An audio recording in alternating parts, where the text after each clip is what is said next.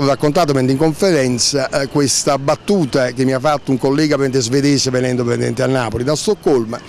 eh, che c'era venuto un po' di anni fa e che la prima cosa che mi ha detto che lui era rimasto molto meravigliato. Primo,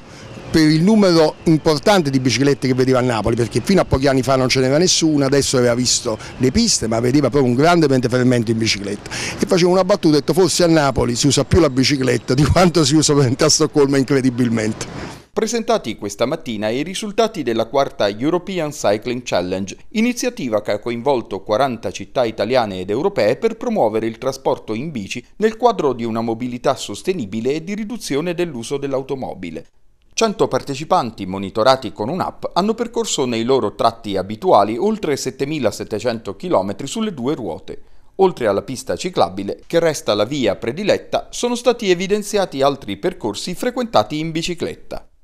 e dal 5 al 7 giugno alla mostra d'oltremare si svolgerà il Napoli Bike Festival per coinvolgere appassionati e curiosi. Abbiamo già realizzato parecchi chilometri di ciclabili, adesso ne stiamo facendo un altro chilometro di ciclabili nell'ambito del primo del, del, grande progetto Napoli Est che adesso stiamo facendo via, eh, via Breccia Sant'Erasmo e via dicendo faremo un altro chilometro, adesso quando partirà via Marina faremo altri tre chilometri di pista per ciclabile, quindi grande ben soddisfazione. Spero, devo ringraziare anche Napoli, gli organizzatori del Napoli Bike Festival che hanno accompagnato questa iniziativa e che domani faranno anche la, diciamo, la la premiazione eh, di, di, di, di, coloro che hanno partecipato diciamo, a questa manifestazione, quindi grande soddisfazione e speriamo l'anno prossimo di andare meglio.